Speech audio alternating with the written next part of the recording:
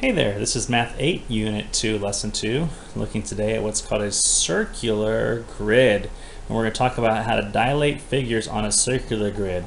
Normally, or so far I should say, we've been talking about dilating figures on just a regular grid like so, but we're going to move today to talk about a circular grid and how we can move pattern or geometric figures around.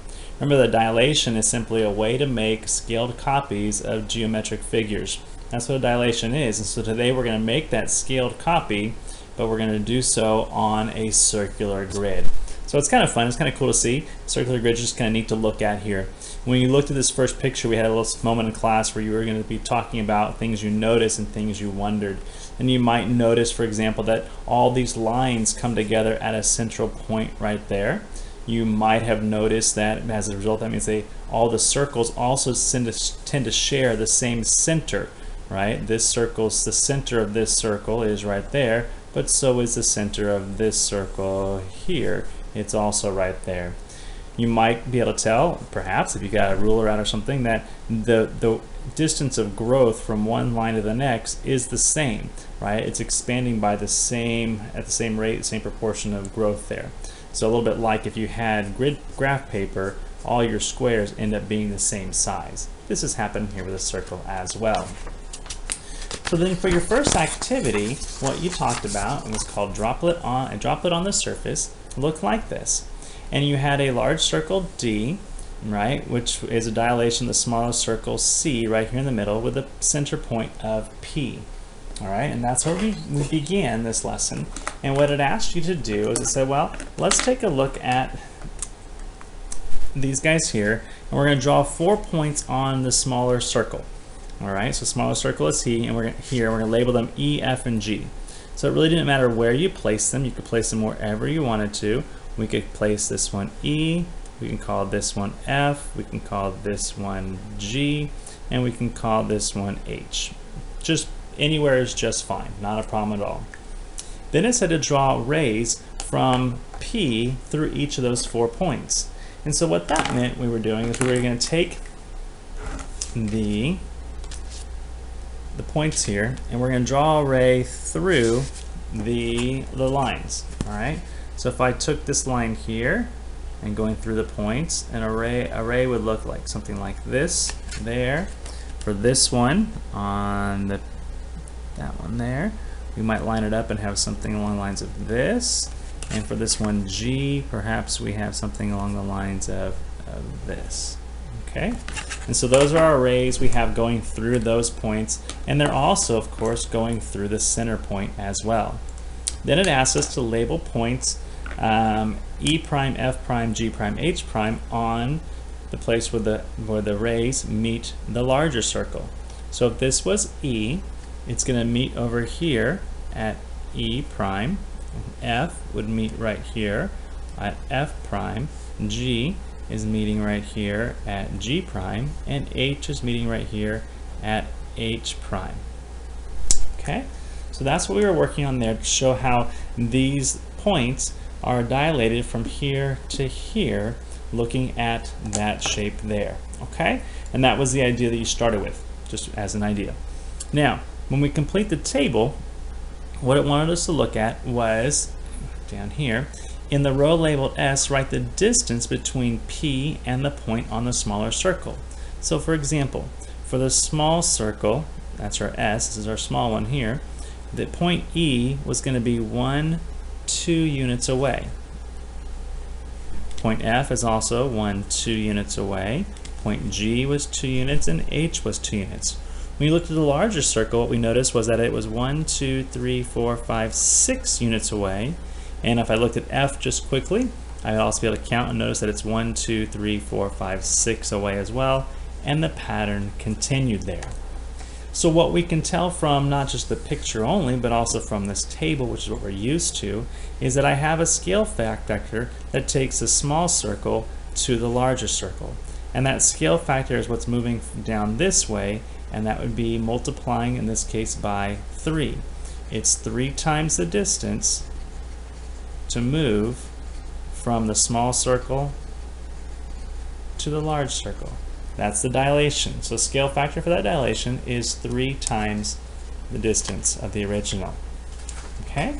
From that, you moved into a similar activity, but now instead of just a point, we connected the points on the circular grid to form a polygon. We had polygon A, B, C, D. And asked you to first of all dilate each vertex of polygon ABCD using P as the center and a scale factor of 2. So our scale factor is times 2.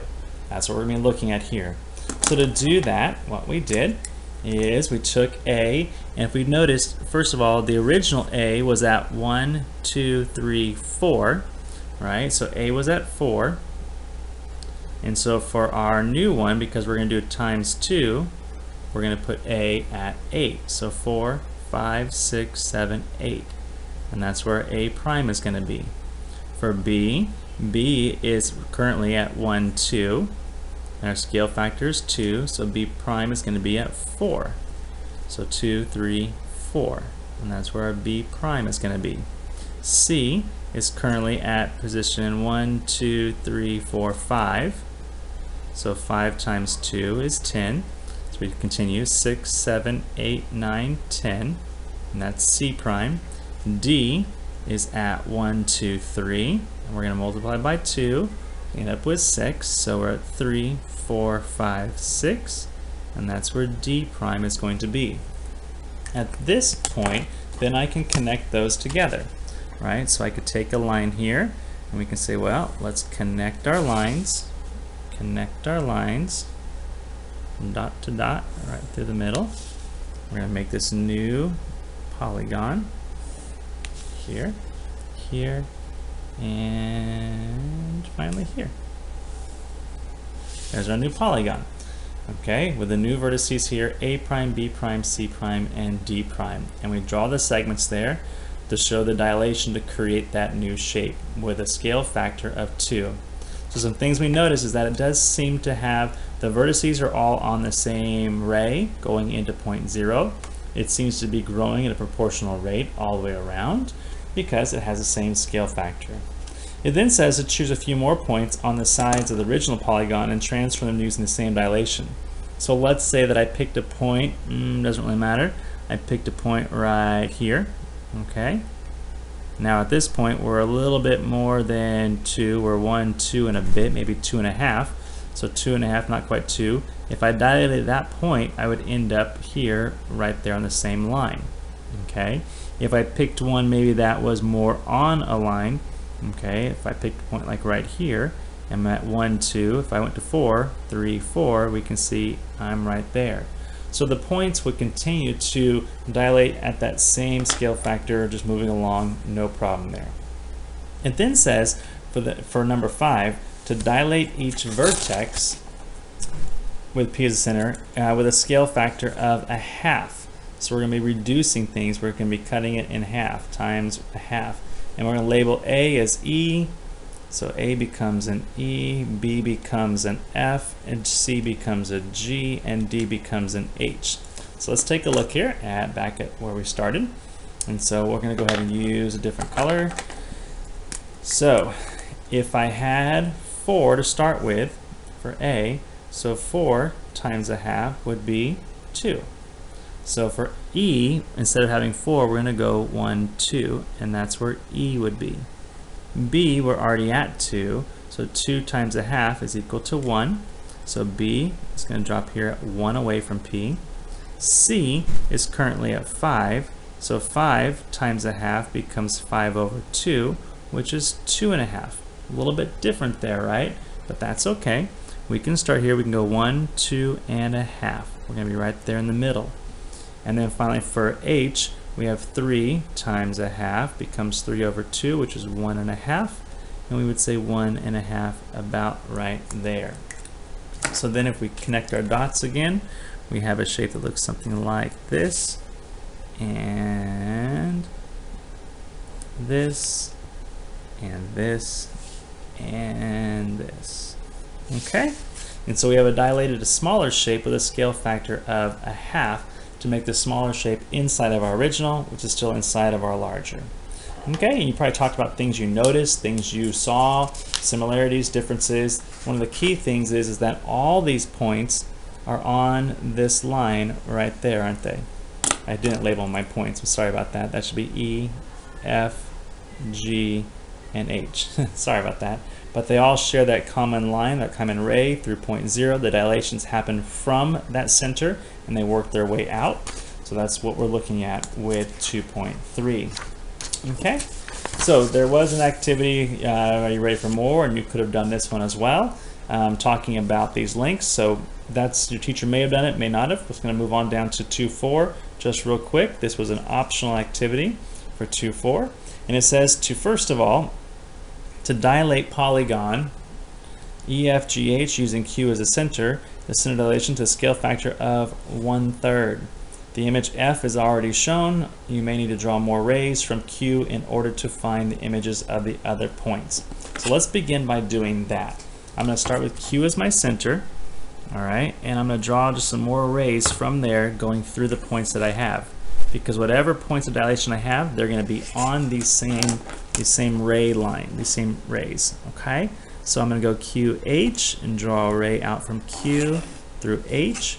And I have point E here as well, so I'll go from Q out through E, and we have something like that. So I'm just adding some lines through my, through my center to my points. Now I can look at the scale factor of uh, one third. Let's start with G. G is a distance of one, two, three, four, five, six away. So G is 6 away. 6 times 1 third is going to be equal to 6 over 3, which is equal to 2. So my G prime would be 1, 2 away from the center Q. There's G prime. H is at 1, 2, 3, 4, 5, 6, 7, 8, 9. So 9 times 1 third is 9 over 3, which equals 3. So H prime will be at 1, 2, 3. And there's H prime. E is currently at 1, 2, 3. So 3 times 1 third is 3 over 3, which is 1. So E prime would be right here. Okay, so now if I connect my lines here, make my new shape, I have a shape that looks like this, and this, and this, and that. And there's my new shape for this element here with a scale factor of one third. So it's kind of cool to be able to see how this this um, the circle allows us with a circular grid allows us to make the uh, dilations and to translate a shape from one place to another, making those moves there. It's kind of cool. So that was the lesson there. As a summary, a quick summary, just remember that for today's lesson, what we're talking about is that you can use a circular grid to help you make the dilation. and the radius of the smallest circle is one unit, okay? And the radius of each successive circle is one unit more than the previous one, meaning it's growing by one and two and three and four. Continue to grow there. To do a dilation, you always need to have a center of dilation, that point in the middle from which everything works its way out of. And as you're working your way out, we tend to see that it works on a line like so. Those points are all lined up and your vertices all stay connected there. Okay, we'll pause there and then we'll come back and do our homework in just a second.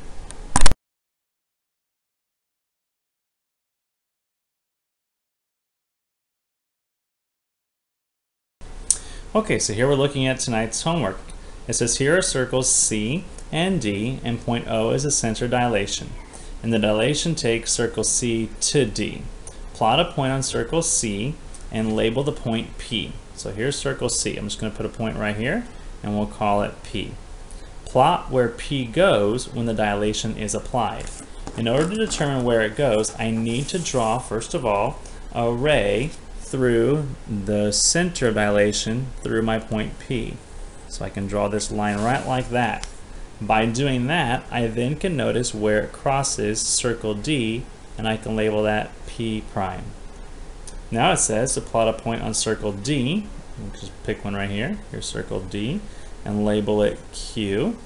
Plot a point that takes the dilation to Q. So we'll go here, and we'll go here, and we'll draw a line right through that and we're going to plot our point right there and we'll label that Q prime. Okay, and so that's how that works there. It's helpful and important to draw that line from the center out towards the out way as a ray to see where does it cross our circles there.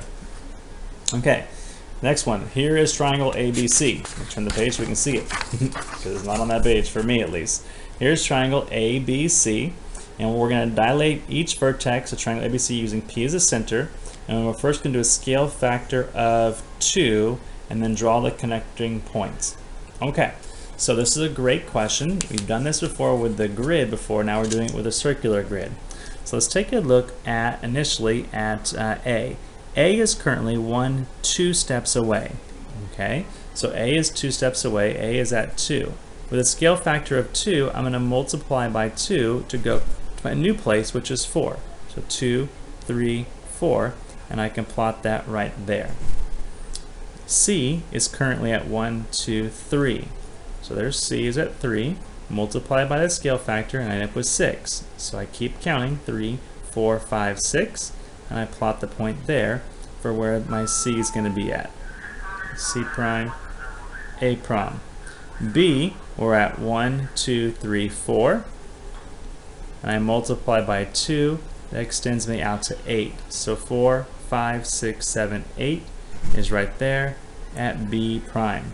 And now what I can do is I can play connect the dots. And we can go like this. And we can go like this right here. And then we can go like so. And we have our new triangle right there. Part B says to dilate it with a scale factor of a half. So I can go back to the original right? The original a, which was 2, and multiply by a half. 2 times a half is 2 over 2, which is equal to 1. So for point A, I can go out here 2, 1. B, I'm going the right order this time, originally was at 4. So 4 times a half is 4 over 2, which is equal to 2. So we go 1, 2 for our other B one. And C initially is, we set at 3. So 3 times 1 over 2 is 3 over 2, or 1 and a half. So we can go 1 and a half there. And then we can connect our dots to make our new triangle that has a scale factor of 1 half, or here, and then finally to here, like so. Okay, so there's what we have. It says now to measure the longest side of each of the three triangles and what do you notice? Alright, well the longest side, hard to say, on my picture looks looks kind of like this is our longest side. So my longest side, let's go with centimeters. My longest side here is, I have about 9, let's just say with 9 or 8.5 maybe. Let's go with, we can go 8.5. So I have 8.5 on this one, I'm at 4 and, well, about 4 and 2.5, 4 and 2 fifths. And here, line to half line, I'm at 2 and a bit, and we might say it's 2 and 0.125. Oops, sorry, one, sorry, 12, yeah, 125. And so what's happening here is that as I go from out to in, if I'm going this direction, we can see that my scale factor is times a half times a half. If I'm going this way, I can see I'm multiplying by 2, multiplying by 2, and those are the scale factors that we use. If you look at the actual angle measurements, all right, and see what's happening, this one's a little bit trickier just because your drawing may not be perfect or to scale, okay? But if you look at the angle measurements, what you're gonna I probably notice is in this case here, this angle measurement, uh, the initial angle, looks to be slightly bigger than 50, maybe about 53 or so, 52, 53. Let's go with 53 for now. If I measure this outside angle over here, I'm also in about that same spot of about 53 degrees, whatever that might be. And my tiny angle on the inside, the little triangle, is also, once again, taking a look at it, still in that same spot, about 53 degrees. This is something we talked about in previous lessons, that our angles, even though we have changes in, in the size of the shape because of scale factoring, angles always stay the same. So our angle measurements stay the same. They do not change. Okay? Let's look at the last page here. We have describe a rigid transformation that you could use to show the polygons are congruent. So for a shape like this, to get that over to there, I might recall that if I use some patty paper, for example, if I needed to, if I had a shape like this, and I trace that there, I can tell that it's not the same as the one that's given here, right? They don't quite match up there very well. I might need to draw this a little darker just so you can see it. So I'll make a little darker line, a little darker line. Won't be perfect, but then you can see through the paper. So they don't match up the right way. But in order for it to match up, if I flip my paper over, they do match, which means I would need to do a reflection, right? A reflection over like the y-axis or over a vertical line here. So I need to do a reflection first. And then after I do the reflection, then because I'd be at this like size right there, I would then need to translate the shape down. Where you would probably say, in this case here, this is point C, you'd want to get maybe point C to match point F or A to match point D so that you end up in the same place. So that C lands on top of F and I'm set to go. That would be a transformation. Reflect over a vertical line and then translate it down there. Okay, number four says this line has been partitioned into three angles. Is there a triangle with these three angle measures? We're going to go with most likely if this actually adds to 180 and a triangle has the sum of its angles to be 180, then it certainly does. And it does work. 99 plus 39 plus 42 does equal 180 degrees. But we could show that as well. We could draw for ourselves a line. Let's just start with a line. So here's a line right there.